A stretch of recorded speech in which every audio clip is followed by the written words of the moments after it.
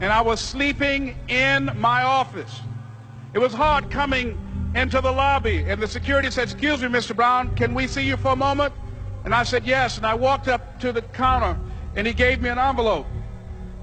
And he said, would you mind reading it here? And I opened the envelope, and the envelope was from management that said, this is an office tower. It's not a hotel. Please do not sleep in your office. And I said, excuse me, sir. I said, I just work long hours in creating my business. I'm an entrepreneur. And right now things are bad for me. But they're not going to be this way always.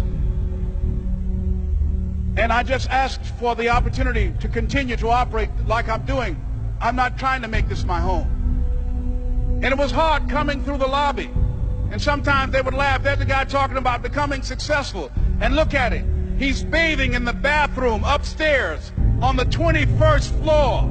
He sleeps on the floor. Him and two other dreamers up there. Look at him. It was hard, ladies and gentlemen, coming to speak to people.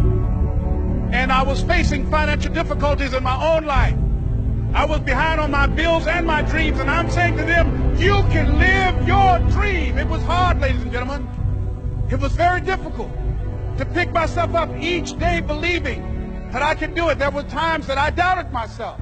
I said, God, why, why is this happening to me? I'm just trying to take care of my children and my mother.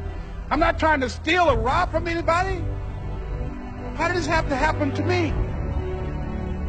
It was very hard.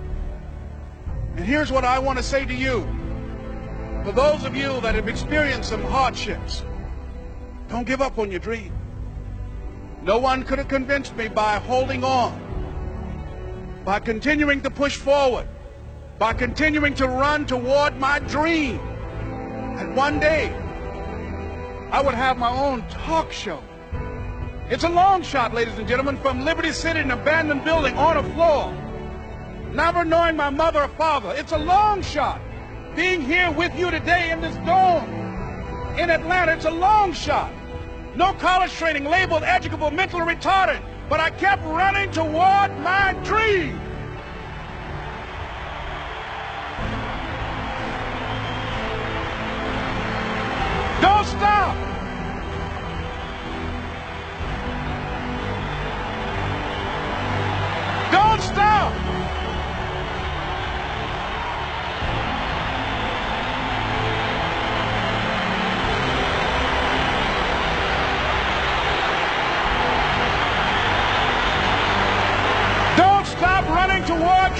Don't